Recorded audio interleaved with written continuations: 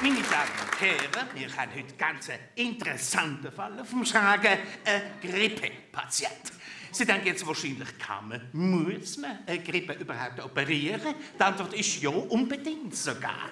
Wir sind ja heute der Meinung, weniger operieren ist besser. Im Gegenteil, der Patient ist postoperativ schneller wieder produktiv, als wenn er zwei Wochen wie ein Fullei im Nest liegt. So eine Grippen-OP ist eine ganz eine einfache Sache. Es braucht auch keine Schutzmaske, wie sonst der Patient ist ja schon krank. Als erstes nehmen wir ihm die verschleimten oberen Bronchien raus und die Lunge ein bisschen offen schieben.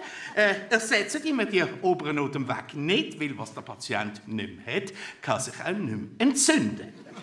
Ist der Bauchraum einmal eröffnet, Cranial, Caudal, Dorsal und Ventral, sehen wir bei der Grippe deutlich, das Herz ist ein bisschen unter Druck, dass die wir großzügig mit Adrenalin ausspielen und schon läuft das Motor weiter wie nicht Wichtig ist auch die Lunge gut auslüften.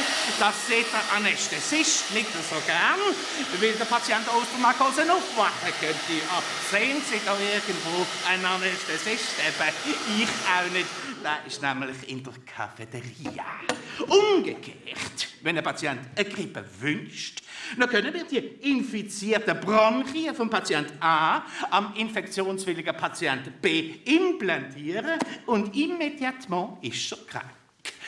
Sparen Sie sich also die unnötige Inkubationszeit mit einer vorgängigen Tröpfcheninfektion durch Speichel- oder Nasensekret. Ist ja ein bisschen unappetitlich, nicht?